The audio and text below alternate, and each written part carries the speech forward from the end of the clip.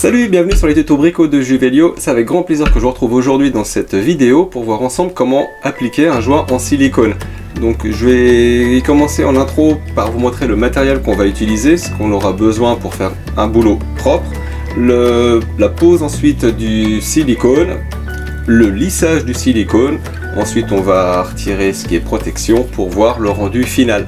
Donc euh, on se retrouve tout de suite en vidéo. Juste avant, une petite parenthèse, je vous rassure, la vidéo sur la clim mobile son gain extérieur va bientôt arriver. Elle a un mois de retard, elle arrivera fin avril si tout va bien, mais euh, elle arrivera dans tous les cas avant les grandes chaleurs. On y retourne, le silicone.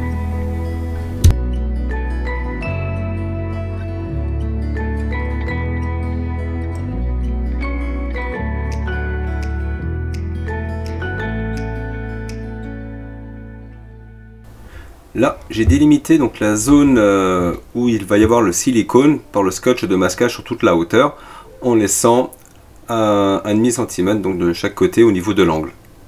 Donc là, ce que je suis en train de vous montrer, voilà le scotch de protection sur toute la hauteur. Ensuite, vous prenez votre cartouche de silicone et vous allez couper la canule au niveau du diamètre qui convient par rapport à l'épaisseur de votre joint.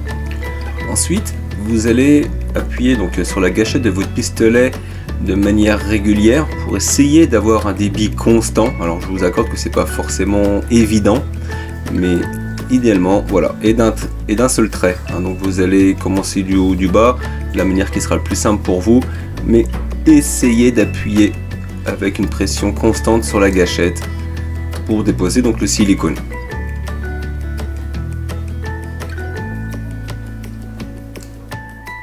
Voilà, le silicone est déposé donc sur toute euh, la longueur. on va essayer de faire quelque chose de régulier.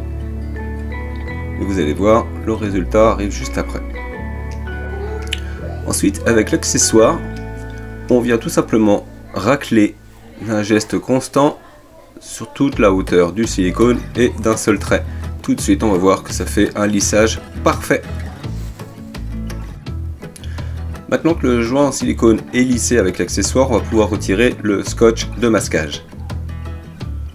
Et on va se rendre compte du rendu final. Et pour des amateurs, le résultat est digne d'un professionnel. ouais non, le système avec le scotch de masquage, honnêtement, si on n'a pas l'habitude de faire du silicone, c'est vraiment le côté super pratique d'avoir un joint qui est bien délimité, bien, bien propre. Et euh, franchement, je pense que c'est pas mal. Voilà, la vidéo est terminée. J'espère que cela aura pu vous aider. N'hésitez pas à vous abonner, à liker et à actionner la petite clochette, ce qui vous permettra d'être prévenu par une petite notification lorsque je sortirai une prochaine vidéo.